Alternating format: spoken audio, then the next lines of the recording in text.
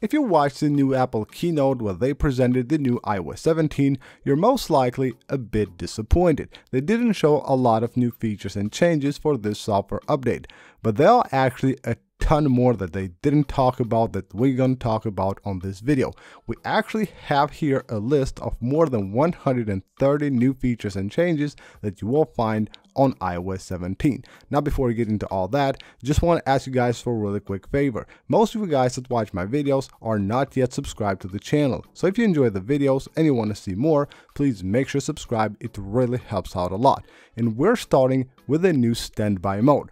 First of all, the good news, it works on all iOS 17 devices. We were expecting this to be exclusive to the iPhone 14 Pro. It's not, it will work on other devices as well. And it has three different modes. One that features two different widgets, you can add two different stacks, and of course, you can customize these. So just like you do with basically with widgets on the home screen, you can do the same here. You go to the edit mode, you can edit them add new widgets or remove the old ones and of course you can enable smart rotate you can also enable or disable suggestions from Siri. Once you're done here you can go here back and you can swipe and go to a new mode which will feature a clock and also your pictures. But you will also have a third mode. Now the third mode is this one right here, which shows you different designs with different clocks and you can change between them. You can see we have a few different ones and what you can do is also customize these. So all of these are customizable. You tap that button right there. You can switch between different colors and of course different themes for any of these. Once you're satisfied with it, you tap done and you're good to go and you can see how cool that looks on your device. The new standby mode will work with live activities as well. So if you're on the standby mode and you have a live activity going on, it will show it right here on the screen. And if I tap it, it will expand. So right now I have a timer and you can see I have a big timer here and of course the controls for this live activity and the night mode looks absolutely great. You can see this red color which will turn on when your device is on landscape mode, charging is on the standby mode, and of course you're on a dark environment, which is really amazing. And this is how you get notifications when your device is on the standby mode. You can see right here, it will first of all initially show a big icon of the app from where it got the notification right on the middle of the screen and then it will move to the side. Moving on to the lock screen, we have new wallpapers. So if we swipe here, we have more planets than before. You can see we have a lot more here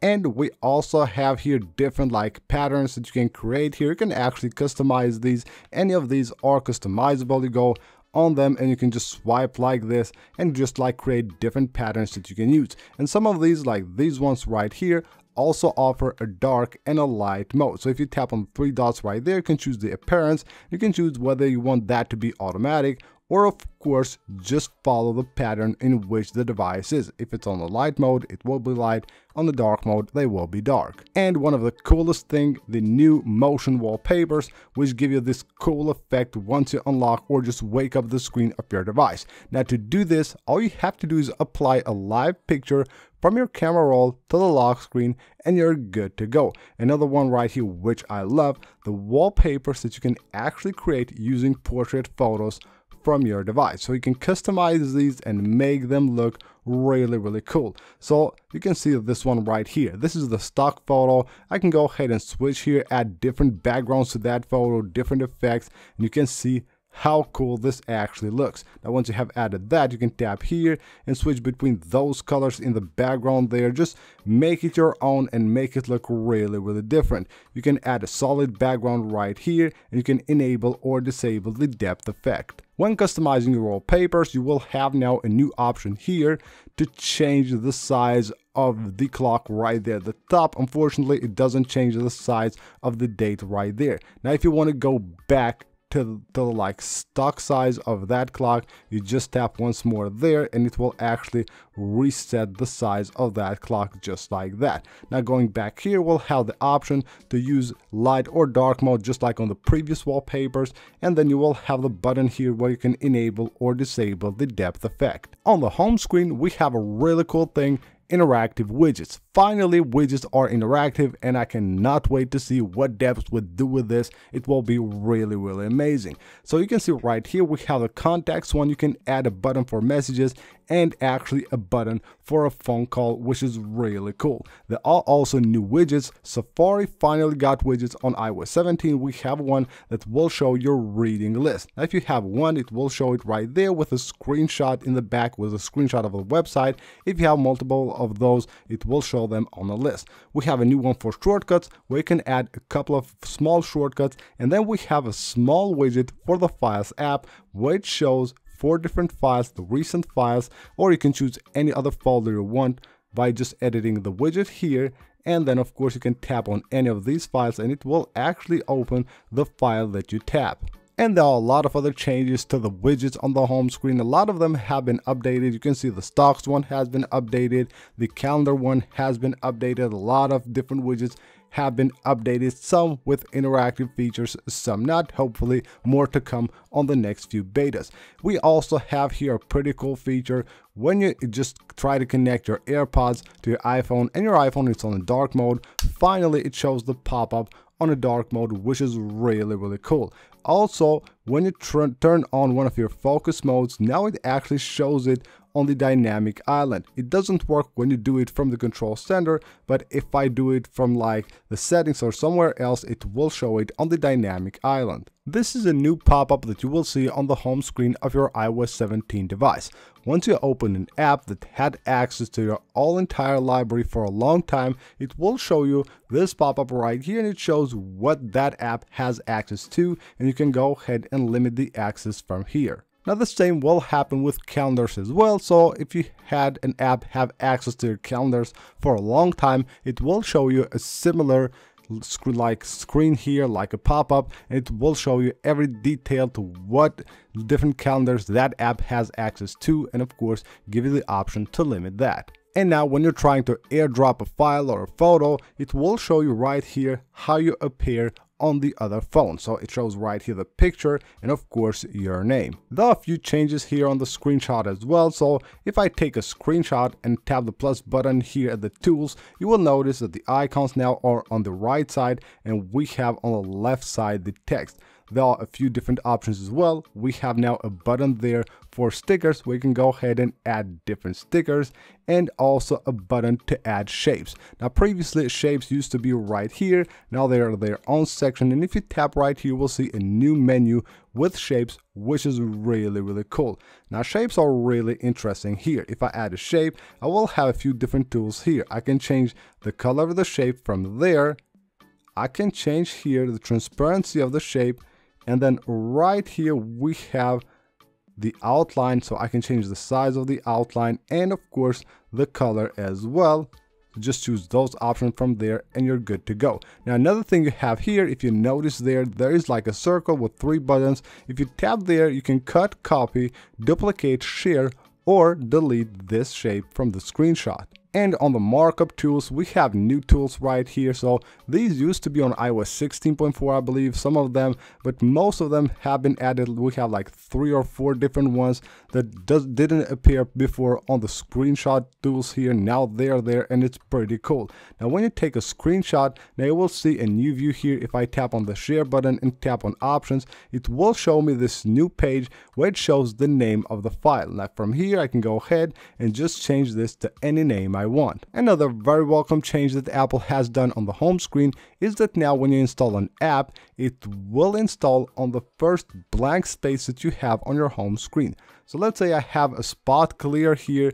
Previously, iOS would just install it on the last page. Now it just fills up that space. And AirDrop has gotten a lot of updates. With AirDrop, now you can name drop your contact with someone else. All you have to do is just bring two iPhones close together and you will switch contacts. Your contact card will show on their phone, theirs on yours, and that's pretty easy to do. You can also bring your devices close to share with AirDrop files and photos and things like that. And also, if you're sharing a file and your iPhones disconnect, basically they just move further apart, that that will actually continue via the internet so it won't interrupt whatever you're sending. It won't be left like that. It will still be sent via the internet. We have some really cool things on the spotlight search as well. So you can see this is a search on spotlight on iOS 17 I just searched for Wi-Fi and now I have here a button which allows me to turn on or off the Wi-Fi of my device this is really cool and makes it very easy for you to turn off the Wi-Fi completely without having to go to the settings app. Now what you will get here are a ton of useful things. Right here we have a suggestion where it shows like create a new note. I can tap on this and actually create a new note right here. And then the toggles I've searched for like the Wi-Fi or this focus right here, I can turn it on from here. So it will be saved and you can see now it shows right there right on the dynamic island and you can see that will be saved until I clear it so I'll basically have their buttons that I need and can use anytime I want. Now search has been improved a lot on the spotlight search with iOS 17. And one cool thing is that it works with a lot of apps pretty good. Like the Files app, if I search for Files, it shows me the Files app, but it also will show me right here three different recent files from the app. Now the same goes for notes. If I search for notes, you can see it shows me my three recent notes right there. I can go ahead and open the app or open any of those notes. And you can see right here also it has been redesigned a little. You can see the result here look quite different. So if I search for something, you can see that UI right there, it has changed. And when you search something within an app, it will show the icon as well as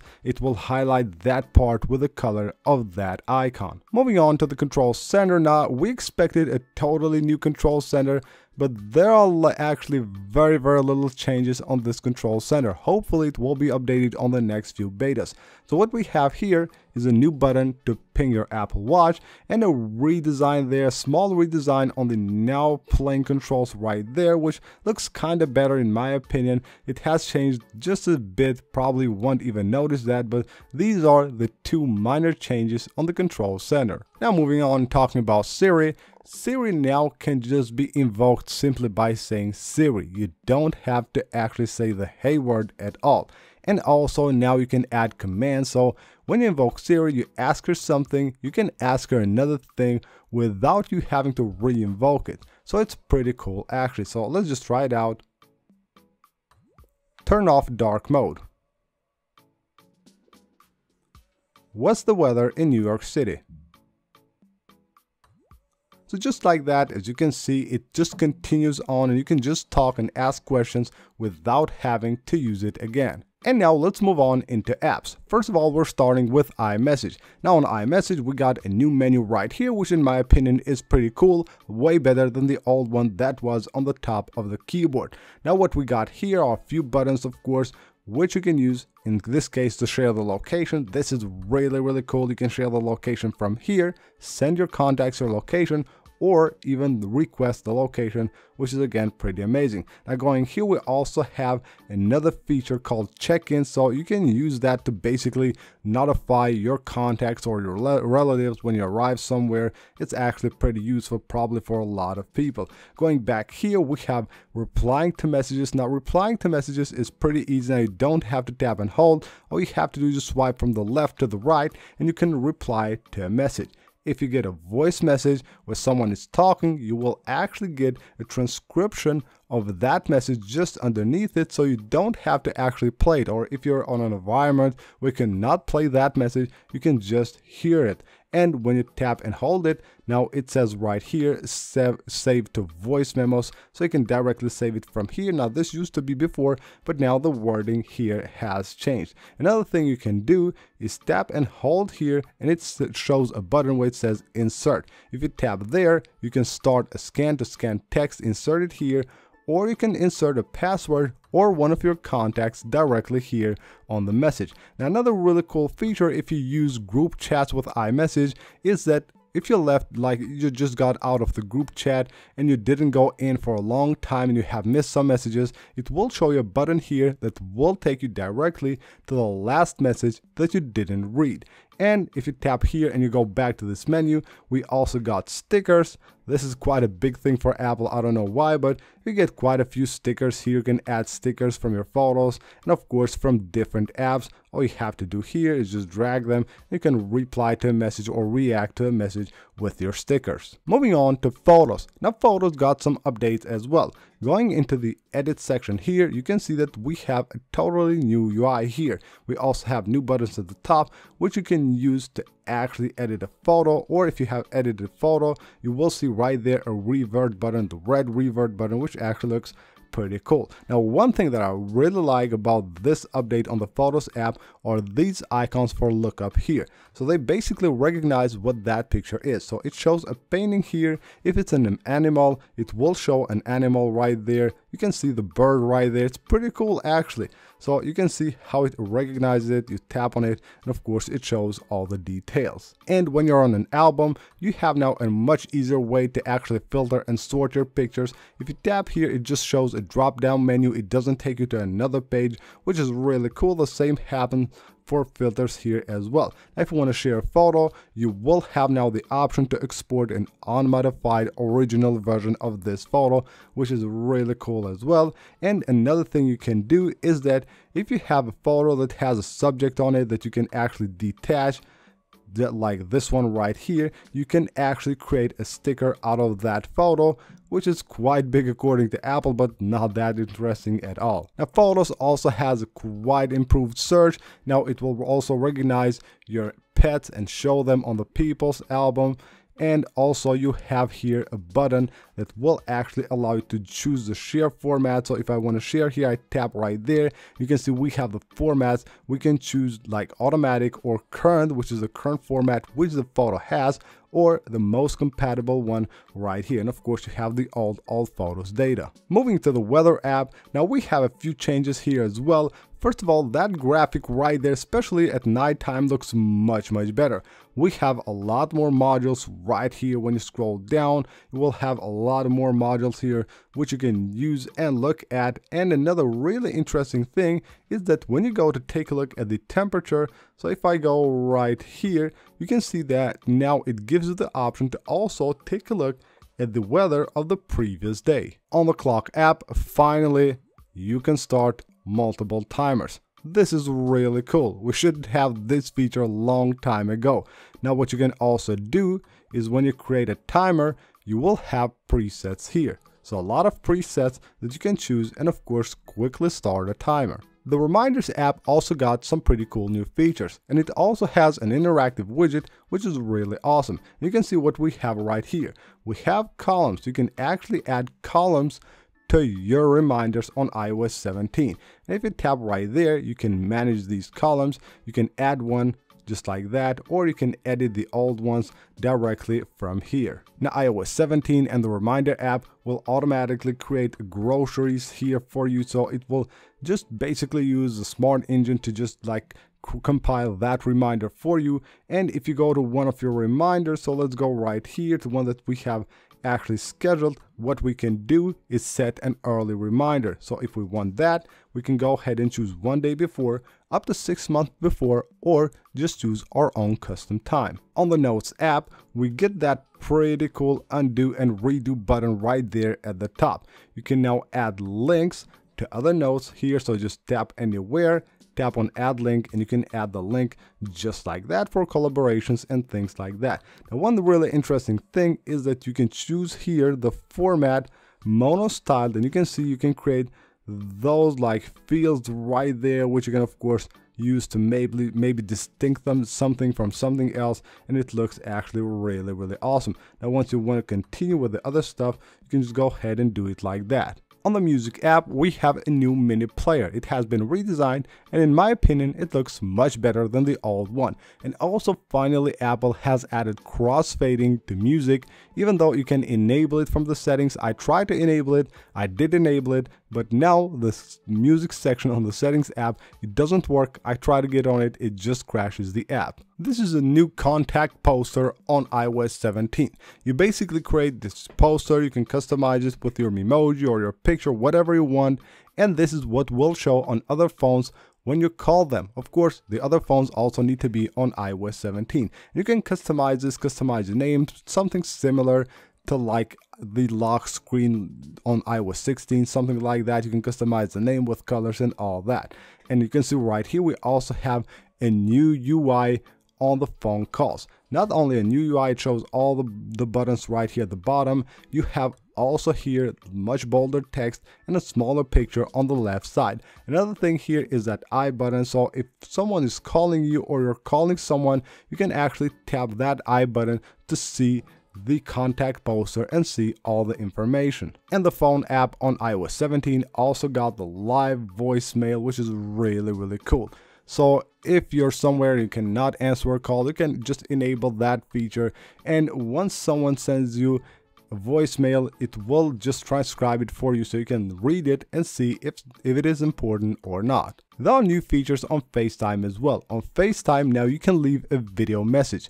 Just like you leave like a voicemail, you can actually leave a video message on FaceTime on iOS 17 and now you can also react with your hands. So while you're talking to someone, you can do like reactions like thumbs up and it will show that thumbs up animation on the screen. This is the history section on Safari on iOS 17 and you can see we can hide and collapse the history right here based on dates. This is really, really cool. Now what you can do also have private like private tabs locked here. So if we go to private, you can see this is locked. And if you have tabs open there, no one will be able to actually open these. These are protected by your Face ID or the passcode. And also we have new view here for the group so you can easily switch between different groups. And we have a different button here for groups where you can switch also between different groups and another level above groups which is actually called profiles so you can have different profiles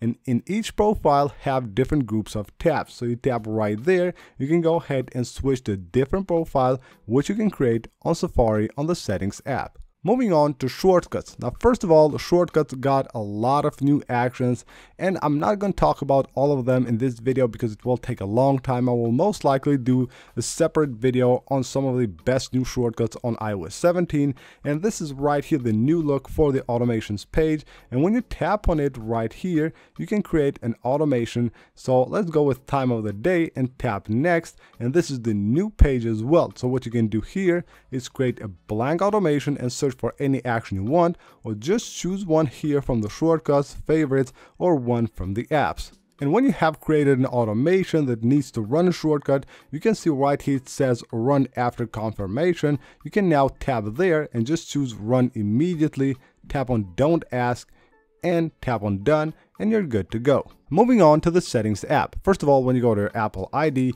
you will see right here that we have new glyphs for the sections of the Apple ID. And we have the renames here, so now it says personal information right there, which is really awesome. And we also have here sign in and security and payment and shipping. Now, if you go under your name there, you will see also communication preferences. This is new as well, so you can choose whether you want to get announcements, apps, music, TV, and newsletters from Apple. Going into your subscriptions, you can finally here sort your subscriptions based on app name, price, or renewal date. There is a new icon here for the VPN. There is a new icon for display and brightness. Home screen and library now has changed. It used to be home screen, now it's home screen and library. And we have a new section here for standby.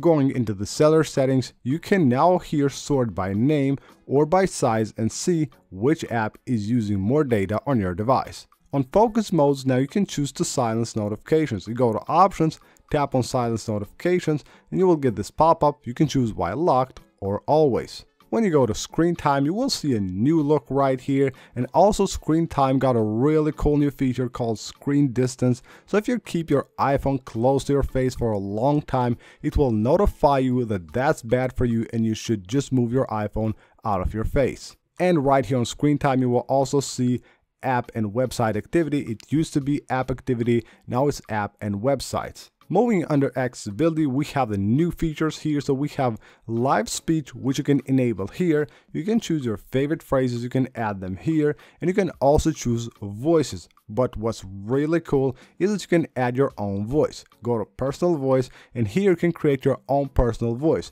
The iPhone will take a few, a few through a few different steps and will take your voice and basically reply or just read anything you type there with your own voice and you can choose to share it across your devices. There's also a section here for the control for the hearing control center so you will have here the ability to rearrange these or maybe remove any one of them that you might not need. You will also get assistive access right here, the new feature that Apple has talked about, you can enable it on this section. And when you go here and you go to Siri, you will also get a slider which lets you set the Siri speaking rate. Whether you want Siri to speak faster or slower, you can set it with this slider. As I said, there is a section here for the standby mode, so when you go here, you can enable or disable the standby mode. You can also enable the always on. Now when you go to night mode, which is the red mode that I showed you guys, you can enable or disable this and also enable motion to wake, which means that the screen will completely turn off if there is no motion in the room. If you just wake up and it notices it, it will turn up the screen. Now we have a few different options here under Siri. First of all, the listen for hey has been changed. Now you don't have to say the hey word at all. You can just use Siri and you will also have here allow Siri unlocked. When your iPhone is locked, you enable this, you can still use Siri. And also you can enable Siri in calls. So you can use Siri while on a phone call or on a FaceTime call. Under privacy and security, if you go here and scroll all the way down, you will find a new section where you can enable sensitive content warning. There will be a totally new look on the password settings. You go to passwords, you will have your security recommendations here, then you have the pass password options, and then it will show you all the passwords that you have right here.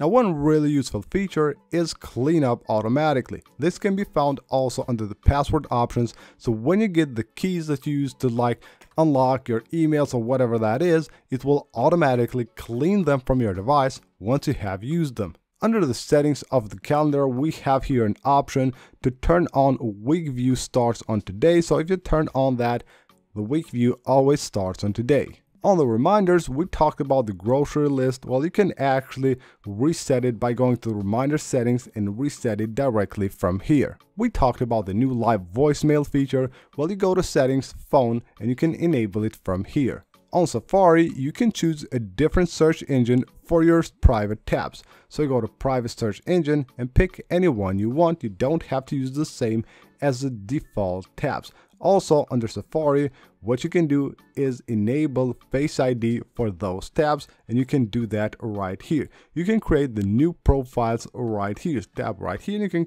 customize them, add a name and of course an icon and just choose where you want to place it. And finally, we're going to the camera settings. So let's just find the camera here. We have a new option to enable a leveler on the screen of your camera when you're using the camera app and we have some rearrangements here at the top of the camera settings. So that is it for this video guys, these are more than 130 new features of the new iOS 17. Hope you guys enjoyed the video, leave a like if you did, don't forget to subscribe for more, and I will see you on the next one.